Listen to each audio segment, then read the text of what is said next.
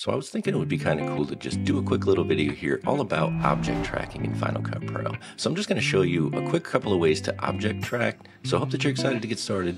Let's dive in.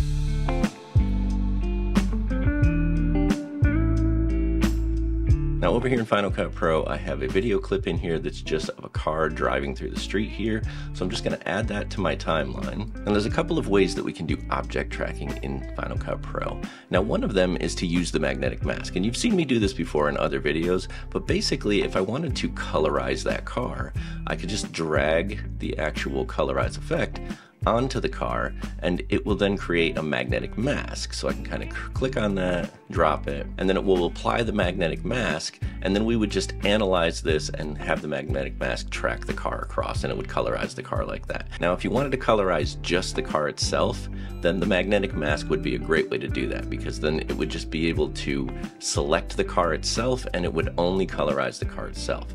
But if you wanted to colorize the car and the space around it and maybe have like a colorized dot over top of the car, then using the object tracker might be a better way to do that. So to add the actual colorize effect as an object tracker, we would do it the same way that we did with the magnetic mask, but when we go to pull it over here to drop it on, if you hold down the control key, it's now going to change it to be an object tracker instead of the magnetic mask.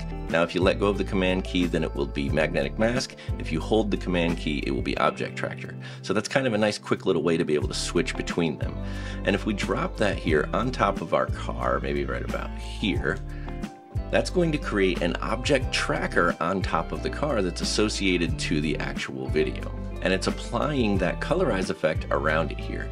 And so we just kind of want to reshape this a little bit so it's more like the shape of the car. I'm going to kind of pull it up and be maybe right about there okay? And then all we have to do is analyze this. So if you click analyze, it's gonna go through the process of actually analyzing the object tracker across the screen. Now this is gonna be way faster than like the magnetic mask, although even the magnetic mask is very fast, this is going to be significantly faster. Again, I have an Intel Series Mac, so it's slower on my computer, but on your computer, if you have an M Series Mac, especially if you have the latest, this is just gonna like fly by. But now we have this object tracked analysis here, and if we play through this now, you can see that now we have our red colorized dot over top of the car, and it's following it across using the object tracker. So that's a really quick and simple way to do some object tracking using some sort of an effect. If you just want to drop that effect onto your object, hold down the command key, you can use the object tracker, and then it will just track your actual object. Now I'm going to remove the colorize effect from this because we're not going to do that. We're going to actually go back because sometimes you might want to have like as the car is going across we might want to have like some text that's actually following the car and giving some information. So I'm going to show you how to do that too really quick. So what we're going to need here is we're going to need an object tracker again. Okay so we're going to find an actual part where the car is kind of out here and it's visible and now we're going to add an object tracker to that car. So we're going to scroll down to the very bottom of the properties on that clip and then we're going to choose trackers and we're going to click the plus to add an object tracker now we're going to move that over top of the center of the car like this, and you want to use an object that has a lot of contrast. And because this car is white and it's very contrasted to the actual background of it, the object tracker is going to work here. Now if you tried to like do something that was the same color as the road or something like that, it would be much more difficult for the object tracker to work here. But in our case, it's got a lot of contrast, so we're going to select that object there. We're going to resize this down so it kind of fits the actual size of the car maybe like that.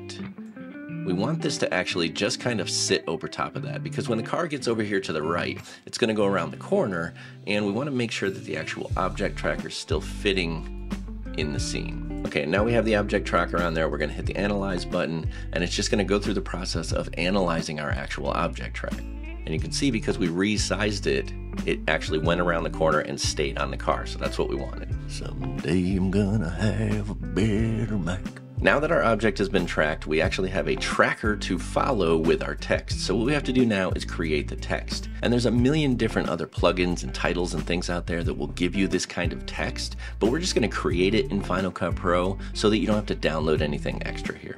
So we're gonna go over to our titles here and we're just gonna add a basic title and we'll just add some basic text in here like this. We'll just kind of put our car out here like that. And we're just gonna change the text to the word suspect. We'll kind of imagine that this is a suspect driving across the street here.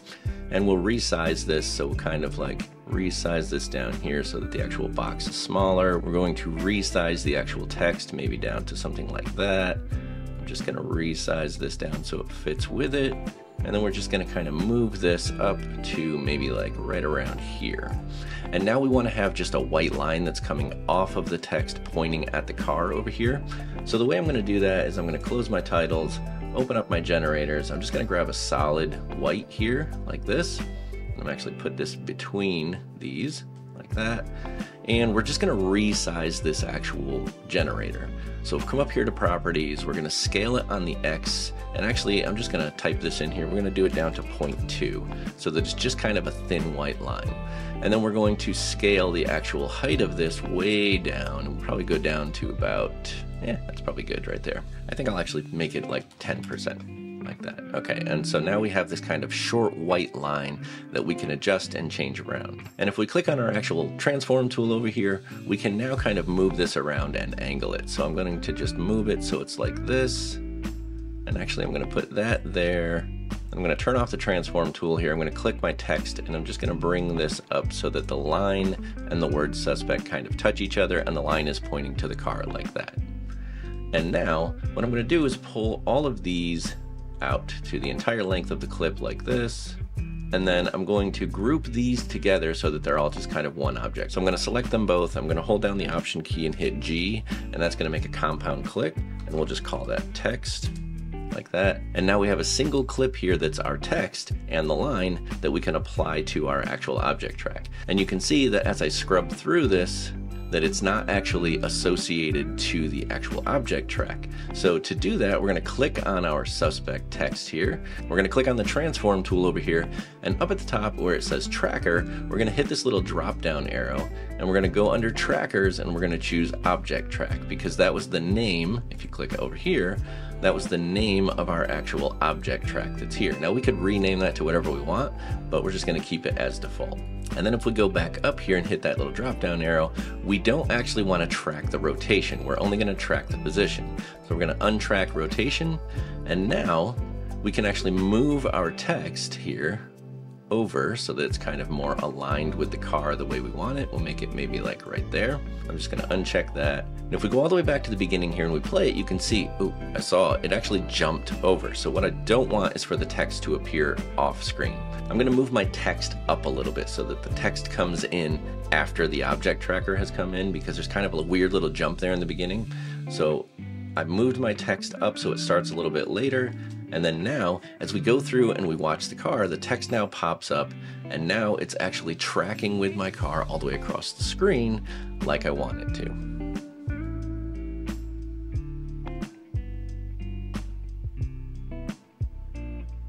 and we can see it going through the entire scene all the way through the suspect it's following it. Perfect. That's exactly what we wanted to do now that's all there is to object tracking in Final Cut Pro. Now you could go way deeper into object tracking. There's a lot of different cool things you can do, and I'll make other videos that cover this topic, but I just wanted to give you kind of a quick introduction to object tracking, how you would actually add an object tracker, and how you can possibly add effects using the object tracker in Final Cut Pro. The ability to be able to hold down the command key and choose between object tracker and magnetic mask when you drop an effect onto an actual clip is a really cool feature in Final Cut Pro.